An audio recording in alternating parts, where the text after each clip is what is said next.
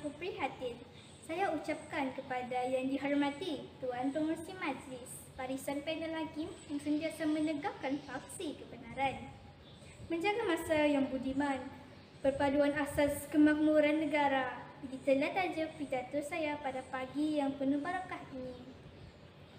Sidang saksi yang arif lagi bijaksana, izinkan saya mengupas maksud perpaduan. Perpaduan saya fahamkan sebagai satu proses yang menyatupadukan anggota masyarakat dan negara seluruhnya supaya setiap anggota masyarakat dapat membentuk satu identiti, nilai bersama dan satu perasaan kebangsaan bersama di kalangan mereka. Terus kemakmuran negara merujuk kepada asas kesejahteraan dan keselamatan ekonomi, politik dan sosial sesebuah negara. Malaysia merupakan sebuah negara yang mempunyai rakyat berbagai kaum, agama, kebudayaan serta mengamalkan cara hidup yang berbeza.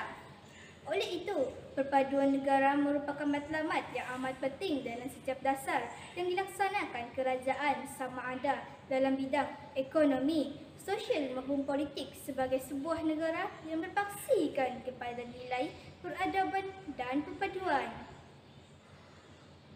Perpaduan amatlah penting dalam pembangunan dan pentadbiran negara kerana ia merupakan asas untuk mengekal dan mempertahankan kebebasannya sebagai sebuah negara yang merdeka dan berdaulat.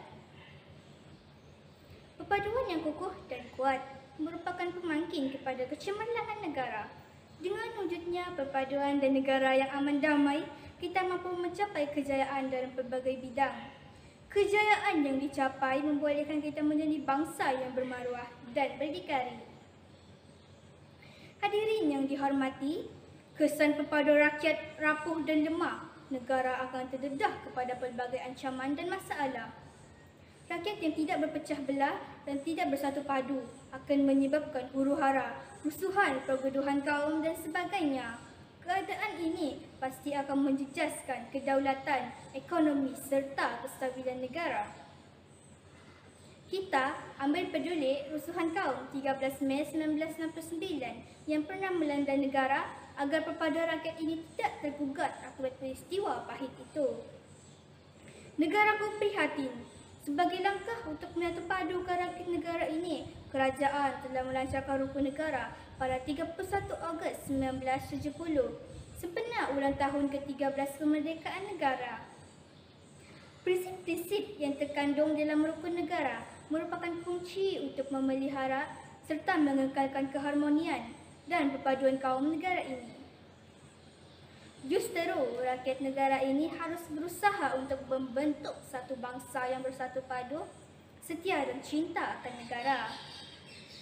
Sidang hadirin yang dikasihi, sebagai warga negara yang Malaysia yang prihatin, kita harus menjadikan kepada rakyat sebagai teras dan landasan hidup bermasyarakat di negara ini.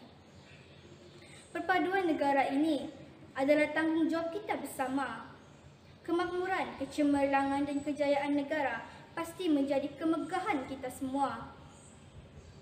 Oleh itu, kita harus sentiasa bersatu padu dan hidup dalam berharmoni.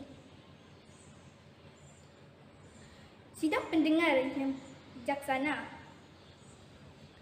kita dikejutkan dengan COVID-19 yang menular ke seluruh dunia pada 11 Mac 2020 hingga kini. Ianya telah mengubah corak dan gaya hidup kita dan menjadi kebimbangan hingga tidak-tidak tidur lena.